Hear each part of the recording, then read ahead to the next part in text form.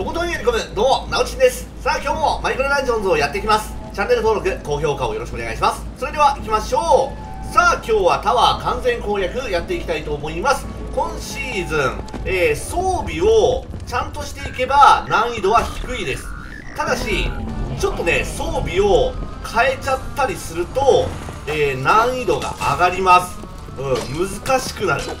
なので一応装備を、えー、気をつけながらやっていきましょう。本当にねへ下手な装備をつけていくとやられちゃうんだよね。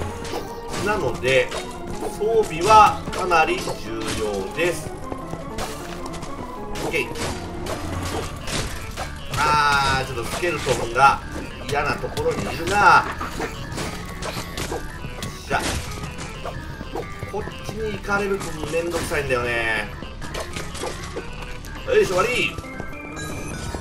一回クリアです。次に行きます。報酬がパワーシェイカーですね。でエンチャント入れてください。今回防具に最初からクールダウンがつきます。クールダウンを最初から3ぐらい入れていくとだいぶいいですね。OK でここはレイスが結構多いし、えー、エンチャンターも出てくるのでまあめんどくさいところ。OK なのでまあとりあえず、えー、エンチャンターは先に倒すようにしましょうね。まずはエンチャンターから。そうしないと。ああもう 危ねえ。エンチャンターからねエンチャン受けたやつが本当にねすんごく強くなるから。まあ注意していきましょう。次。えー、ここで両刃をのです取ってください。でエンチャントでクールダウン2ですね。でまずこの手前。で出てくる敵。をあらかた片付けてしまいましょう。あらかた片付けたら、えー、先に進んで OK です。まあまあいつも言ってるんですけども。後からねこっちに戻ってくるのが結構面倒なので最初から倒しておくとだいぶ楽ですね。では進みましょう。はい。OK でこれで3回がおしまいです。次いきます。えー、ドラ取っていきましょう。後でねドラも出てくるんですけどもえー、っと最初の方に取っておかないとボスがね時間かかるんですよ。なので3回報酬はドラで確定でいいと思います。で先に進みましょう。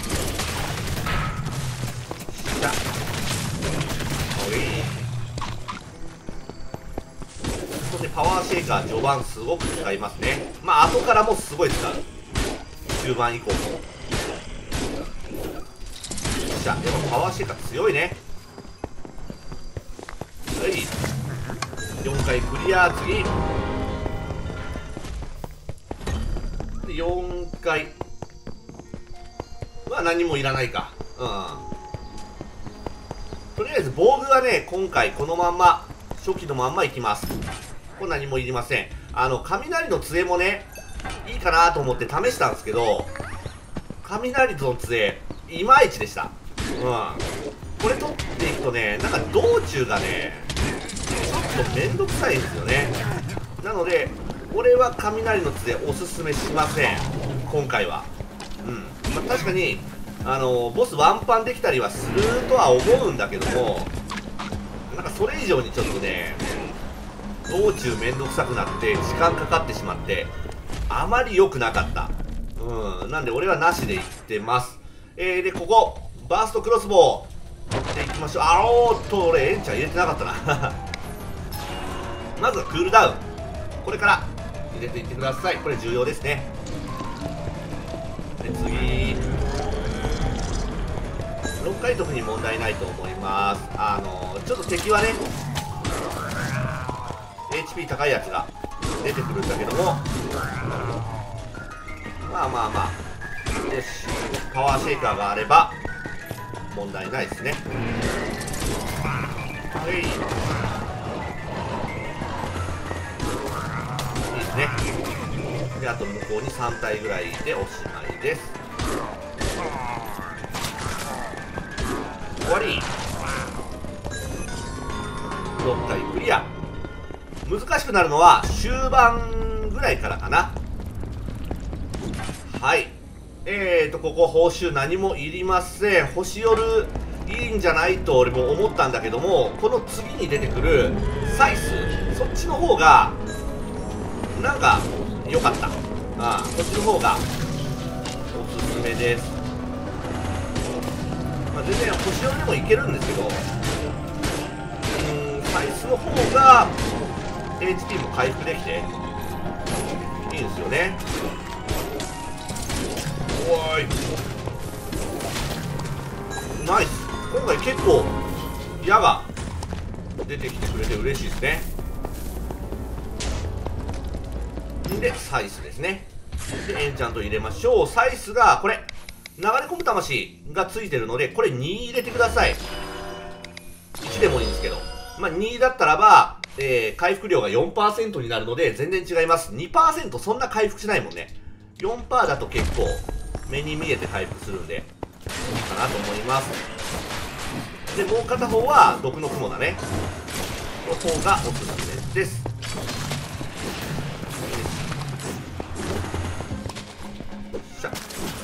星読みよりもあの小回りが効くからね。いいかなと思うんですよ。今回は。はい78回クリアサクサクいきましょう。えー、こうバジネスト取っていきます。で9回の商人ですね。ここで防具を上げてください。反逆者。これで攻撃力が結構上がって戦いやすくなります、まあ、攻撃力っていうかあのー攻撃速度ね。でエンチャント入れてください。毒の雲。毒の雲は3にしたいところだね。いきましょう。あれああ思いっきりだった。まあここもパワーシェイカー使っていけば問題なく勝てると思います。はい終わり。クリア。でここは報酬いりません。次。でここねあの結構めんどくさいっす。攻撃が遅くなったりするともうほんと一気にね戦いにくくなるので基本弓で戦っていいと思います。OK いいんじゃない？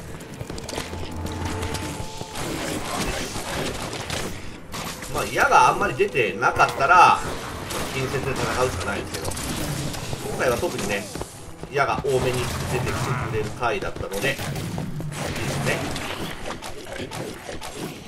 よし、これでおしまいかな。まだいた。意外と多い。で、11回クリアです。何もいりません。でここえーとこのクリーパーが多いです。端を出してあげると意外と進みやすいと思います。ナイス。いいね。よし。こっち敵が出てるので倒し忘れがないようにしてください。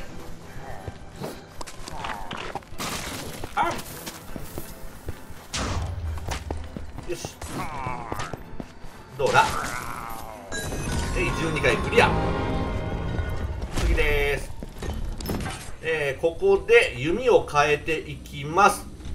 乱射ですね。乱射のクロスボウに変えてください。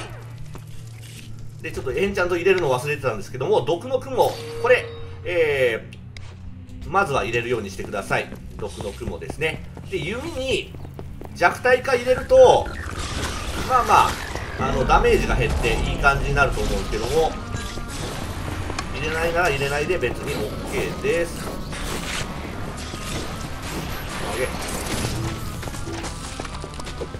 やっぱねあのクールダウンが最初から入ってるすごくいいよね。めちゃくちゃ戦いやすい。はい。でネクロマンサーも出ます。ドラとか使えばここで倒せると思いますよ。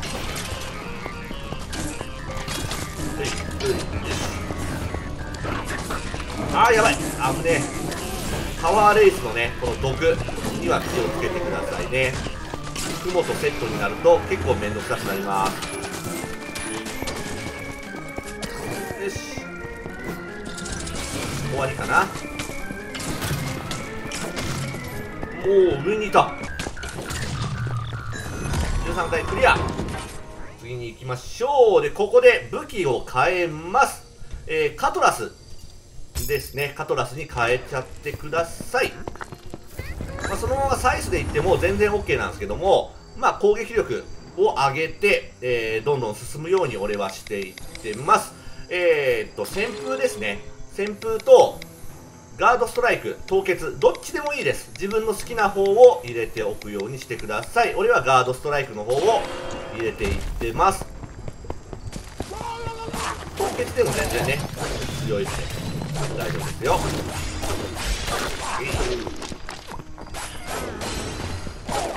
でパトラスって、特にこのタワーでめちゃくちゃ強いと思うのよね。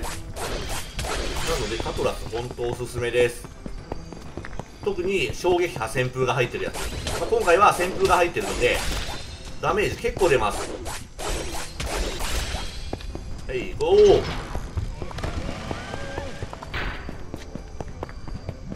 特に問題はないっすねまだかでこっちはまあ弓で倒すなりなんなりしてください。OK 14回クリア。でここで、えー、ようやくパワーシェイカーがパワーアップします。やっぱね序盤で取ってたやつなんで火力がちょっと少なかった。なので火力が上がるっていうのは嬉しいことやね。あげ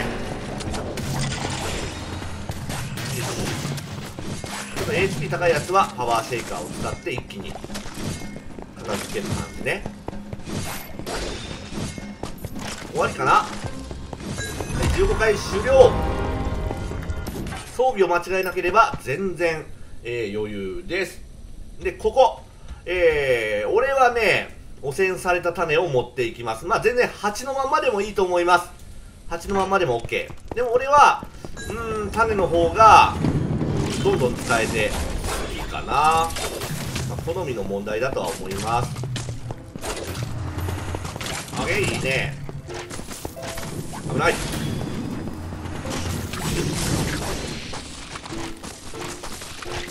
ダメージも結構あるのよね。あちょっと危ねえ。段差になってて危なかったぞ。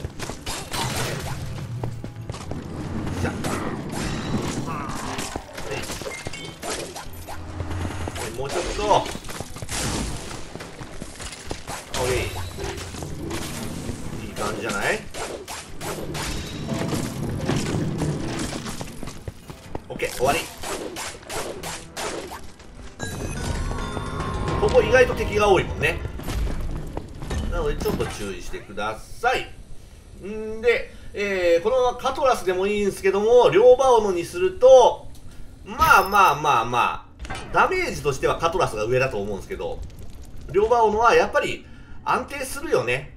うん。使いやすい。で、輝きがこれついてるので、HP も回復してくれて、すごくいいと思います。で、どうしてもダメージ食らっちゃうなっていう人はガードストライク。んで、えー、火力特化でいきたいっていう人は、毒の雲入れてください。これは毒の雲派です。いくぞ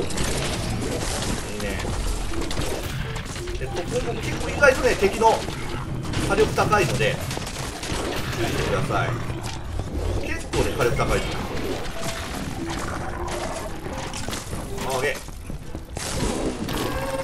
ーあとはこっち側に数体いておしまいですね。はい。はい。よし。17回終了。報酬はいりません。で18回ここ特に問題ないです。さっとクリアしちゃいましょ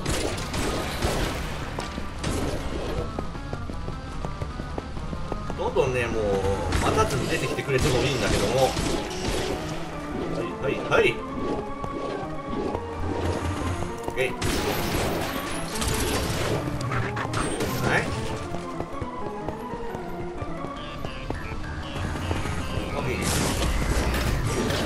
やばい。あぶね。あぶね。でもねラグはどうしてもね防げないから。仕方ない。終わり。あれ？どこいる？あそっちかい。で18回が終了です。何もいりません。でここで防具をまた上げます。金細工で。反逆者何がついた？あー変更か。まあ悪くはないでしょう。でボスです。えー、っとねエンチャントの強打を、えー、1か2入れとくとちょっとダメージが上がっていいと思います。ましょう危ねまあ炎を剥がせないようにね。注意してください。はい。おしまい。この火力があれば特に問題なく勝てると思い。ますで雷の杖もね試したけどもここは雷の杖俺取らない方がい。いと思う本当にね難易度が上がる雑魚戦があのー、勝てなくなるのよちょっと倒しにくい。ボスにはいいかもしんないけど。だから俺は森の矢筒を取っていった方がまあ無難にいいと思います。うん。まあボスはワンパンできるにしても全然余裕で勝てるのよ今回のボス。なんでわざわざワンパンを狙わなくてもまあいいかなと思います。まあロマンはあるけどね。ロマンはあるけどもまあ今回はロマンを求めなくてもいいんではないでしょうか。安全にね展開した方が、まあ、時間の無駄にもなりませんし。か？よし。でこっちかなここで。このやつは結構火力があって面白い。ですおしまい。21回クリアえ、でここでね愛のメダルうんこれを取ってください。まあ、さっきねちょうどあの森のやつ取ったばっかりなんだけども愛のメダルがあるとこの回が、えー、簡単になりますここがね結構難しいのよ。うん。ここが意外と難しいので愛のメダルはまああった方がいいと思う。うん。ほんとねあのー、嫌な場所なのよ。あぶね。よし。愛のメダル。あぶねあぶねあぶね。ほんとここは。注意しとかないとやられちゃうので。危ね肉肉。まああのー、アップドラフト？あっちでもまあいけるにはいけたんだけども断然こっちの方がね安定した、うん、多分ねやられちゃうっていう人はここでやられる人が多いんじゃないかな。と最初の、えー、ロイヤルガードとかがブワって出てくるところあそこがねちょっと耐えれなくなるのよ。うん。なんで愛のメダルがあったらだいぶ安心だと思います。えー、何も言いません。いきましょう。22回ぐらいからちょっと難易度が上がる感じかな。OK よっしゃ。強いねここは本当に。敵が。よしよし結構面倒くさい敵も多いしね。パワーシェイカーは絶対必要だし。OK クールダウン付きで愛のメダルを何回か打っていくっていうことがいいかなここは。戦いやすいと思いますそれが。でここでコグクロスボウ取っていきましょう。んでコグにエンチャント入れましょうね。重要なのは長弾です。これで OK です。長弾3入っとけばとりあえず OK で虚無があればさらに火力が。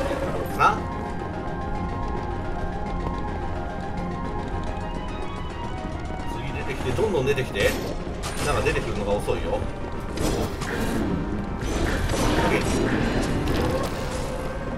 上にもいるか？あいない。上にもこれ出るんだけどね。あケイ意外とあっぶね僕は本当にダメージあるからね。ダメージだけマジ注意で24回クリア次に行きましょう。ここは何もいらないですね。そのまま進んでください。で25回。ああ店舗セフトです。虚無1と店舗セフト1があるとまあ戦いやすいと思います。自分の動きも速くなるしいけ。敵もこっちに寄ってこなくなるのでまあダメージも減っていいのではないでしょうか。おしまい。はい25回おしまいです。で25回、えー、ここでドラがあるんだけどね。最初取っているので別に取らなくても OK です。何もいりません。で26回だね。おおちょっと使っちゃったけど OKOK 問題なし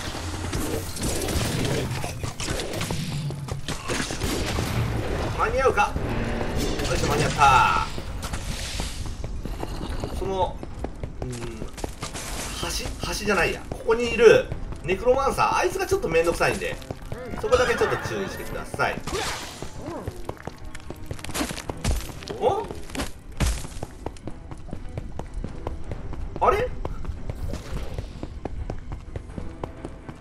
えどこ？いた。こんなところにいたんかい。それ分からん。んなとこに追ってもらってもね困りますね。はい26クリアでここでボーンクラブ取ります。やっぱタワーといえばこのボーンクラブ間違いないと思います。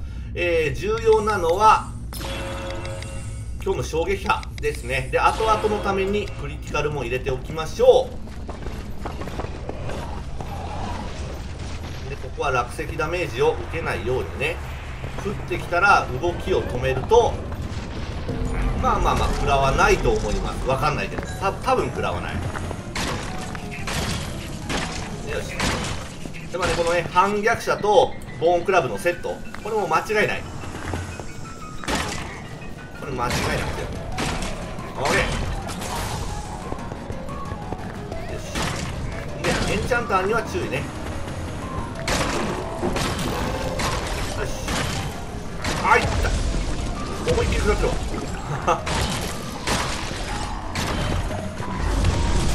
いけ。やば。あっぶねこいつ。よし。まあまあまあこうしまいね。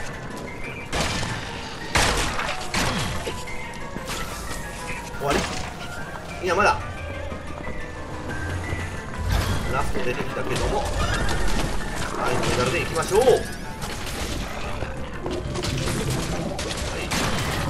終わり。27回クリアです。報酬は何もいりません。でここ。あのね奥に入らない方がいい。ここら辺で戦ってた方が間違いないです。よっしゃ。奥の方に入っちゃうとどうしても囲まれるのよ。なんでこの辺でぼちぼち弓を打って戦っているのが安全かな。囲まれないように注意してください。来た来た来たあぶねよし。OK いいんじゃない？よし。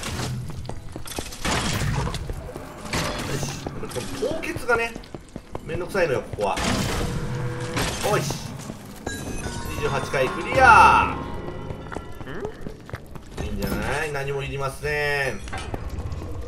んでここでパワーシェイカーを開けます。うん。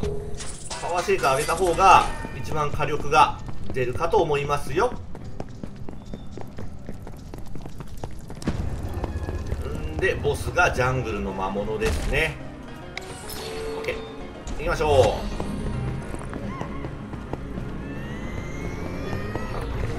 特に考えることもないですね。振り下ろし攻撃は注意をしてあとはもうドラとパワーシェイカー使ってガシガシいけばまあまあまあまあ問題ないと思います。OK いいね。はい終わりパワーシェイカーのあのー、最後パワー上げしたやつがとにかく強いのよ。なんで楽に勝てるとは思います。はい。